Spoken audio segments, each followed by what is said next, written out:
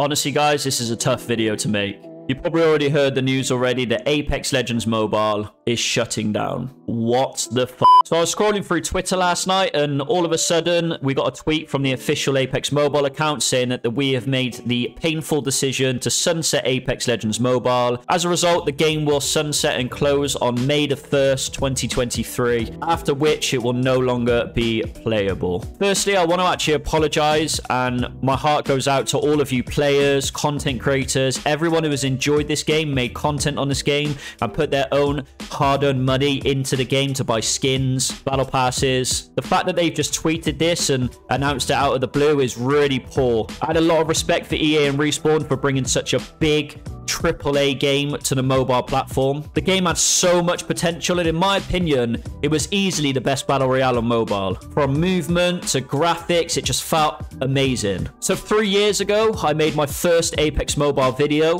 back when there was just a rumor for Apex. I wanted to prepare myself, ready for when Apex Mobile dropped. Having played the PC version since day one, I couldn't wait until it came to the mobile platform. I was so excited. So I covered as much news and as much content as I could, and I stuck with the game through four betas, two closed betas, a soft launch, and a global launch. I just feel empty. The passion I had for this game and the love I had for this game was huge. But the name behind it in Respawn and Apex just wasn't enough to make this game good on mobile or thrive. You guys know me as a creator. I'm fully honest. I tried so hard working with the developers. I tried so hard relaying all of the community feedback and tried advising them to make changes to the game that would help it grow and help it succeed in the long run. I sent freaking reports over to the team. I sent long feedback lists. I sent so many comments and everything to the team. And long story short, they just didn't want to listen. Honestly, all I'm feeling now is that they brought Apex to the mobile market just for a cash grab. I mean, if you think about it, right?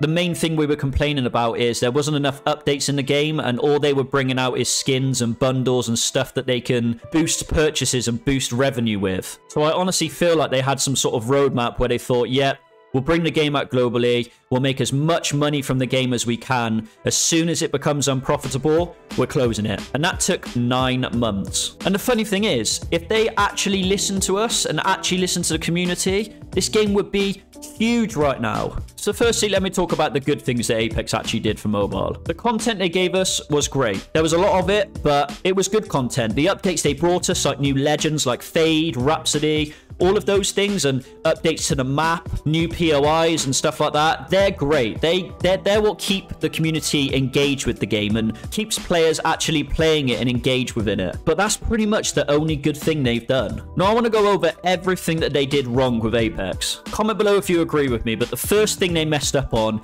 is they took way too long to release the game. Now, 18 months before global launch, they brought out their first closed beta. The beta was amazing. Everyone was hyped. Yeah, it was only 30 FPS, but it was incredible experience on mobile. It was something new that the mobile market had never experienced before. The only other battle royales we had was like PUBG, COD Mobile, but they were getting a bit stale. Now, following that closed beta, they brought out another closed beta, which had 60 FPS. There was a lot more improvements. The game looked amazing and it was fun to play. But then after that, they should have brought out the soft launch. What they did was they brought out another two betas, which stretched to a year so that's four closed betas within a year. Already people have experienced the game, they've enjoyed the game, and then they brought out the soft launch. Now the soft launch was great. It felt optimized, a lot of people could play it, but the soft launch also lasted six months until we come to the global launch, which was in May 17th, 2022. Now when the global launch released, every mobile player, every single content creator was making content on the game. Every server was merged, so all of the players could play together from across the world. You had EU, NA, LATAM, Southeast Asia, all of those regions locked in together, playing against each other.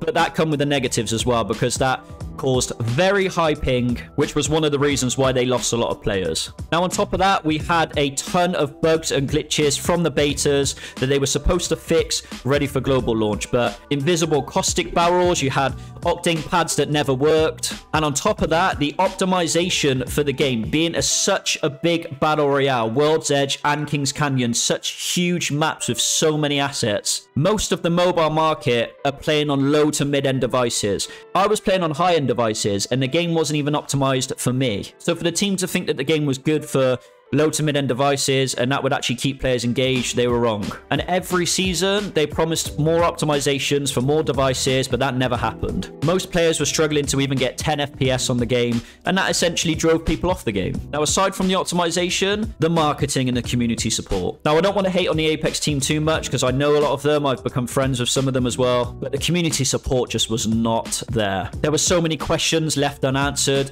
Most of the social media accounts were just posting random clips of skin bundles and random pictures, and there was no real feeling of a community support. And what I mean by that is if you take a look at Warzone Mobile, Rainbow Six Mobile, they're even replying to people's tweets. They're even joking around with the community. There was zero of that with Apex Mobile. And then on top of that, their marketing was probably some of the worst marketing I've ever seen for a game ever. Instead of working with people that actually played the game and enjoyed the game and knew about the game, they started posting random TikTok. It was just really weird ads that they did. They showed like random people holding up pictures of phones, and it was just such a weird way to promote a battle royale game for an FPS genre that you're trying to target. So, granted, I think they actually did learn from that. That's one good thing they did. They started sponsoring creators like myself, other creators, Ken, Kaislo, IC, iStream, even creators from other games like Ferg, Noah, Bobby. But the thing is, you can market a game as much as you want.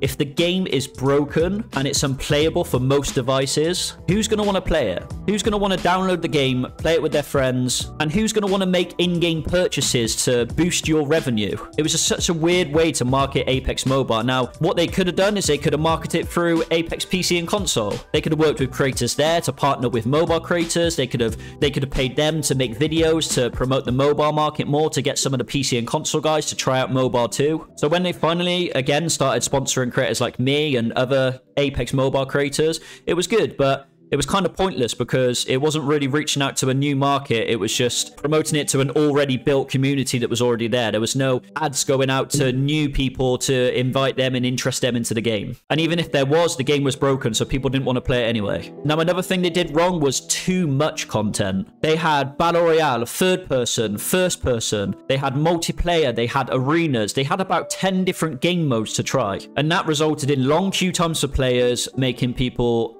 even less interested in playing the game because it takes so long to actually find the game and enjoy and play the game. And then we need to talk about the in-game cosmetics and items. Now this is what makes me think like it's kind of a cash grab because nine months into Apex Mobile, there is already thousands of legend skins thousands of weapon skins, hundreds of dive trails, weapon charms. Now, what interests players into buying a new item or a cosmetic is they want to feel good and they want to show off those sort of skins to their friends and stuff. But with so many skins in the game, people just aren't going to care. And then with that, the prices of the skins were just insane. Like, yeah, for me and some other content creators, they send us some, you know, some grants each month to show off the skins to you guys to get them to promote it more. But let's talk about Fade's Heirloom, for instance. To max out Fade's Heirloom, it costs over $500. Who in their right mind would pay that for a game that's already on a downtrend and isn't that appealing for other players? Recently, I spent $200 of my own money for this Octane skin. And for them to, you know, just tweet out of nowhere that, oh, all of a sudden they are just closing down the game and shutting down the game is kind of crazy. They just recently announced a Lunar New Year's event with a pack that cost 2,100 Syndicate Gold for this Octane. Now, you can guarantee a lot of people bought that, as well as the Season 3.5 Battle Pass as well. So unfortunately, yeah, there's an end user agreement, which means that we cannot get that money back. But we bought those skins with the intentions to use those skins. And let's say you just bought the Lunar New Year one last week, that Octane. You only get to use him now for the next three months. And let's talk about that as well. May the 1st, the game is closing down. Now, what the hell do us content creators do? What the hell do us players do? Why, why would we play a game now for three months, knowing that it's just going to be deleted and everything's going to be forgotten? I know this is definitely not going to happen, but the least they could have done is refunded some of that money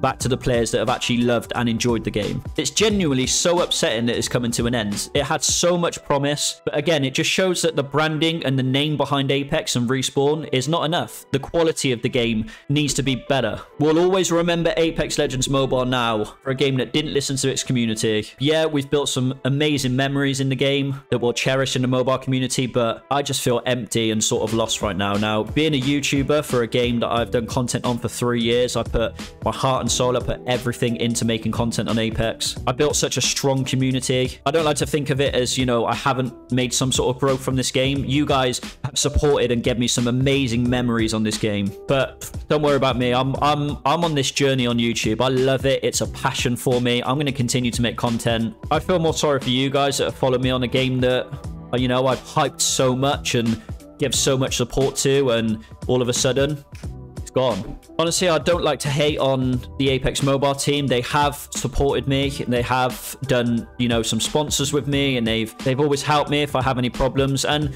I'll be honest, like I said, the updates to the game were good. You know, like the Encore Galore and the stadium and like adding sort of really cool things in the game to keep us engaged were good, but they were only good for about a week. I've had literally the toughest YouTube journey going. Apex Mobile was supposed to be this massive game for me personally. It was supposed to provide so much more. And not only for me, for these other content creators that have been grafting and grinding every day as well. So I'm probably going to take a few days off just to recoup and regenerate and see exactly what I want to do with, you know, this setback. This isn't the end of me though, guys. I'm sticking to YouTube. I'm so passionate about the mobile space and just making videos and really, you know, providing you guys with good content, funny content, and I love the community I've actually built so far. So I hope you can all stick with me. The future of this channel now, I've been kind of thinking about it, and I've worked with games like Rainbow Six Mobile and Warzone Mobile, and you know, Apex being a battle royale, Warzone Mobile is looking kind of juicy right now. I've already met the team. They're fantastic. They're doing a lot more than what Apex has done over the past three years, and I'm excited to test it out on mobile, but Legends, it was fun while it lasted. I'll probably make a few more videos on the game just to create some and, you know, create some videos that we can remember in years from now. I honestly wish I could refund you all myself because I know a lot of you guys are moaning about the money that you've invested into the game. I really wish that I could personally refund you and give you back what sort of, you know, money you feel like you've wasted on the game, including myself as well. But this isn't the end, like I said. I'm going to be back. I'm going to be doing a lot of content. I love you all, and I hope you can continue to support me on this journey I'm on on YouTube. So, fucking sad, man. It's actually sad. Um, yeah. Peace out.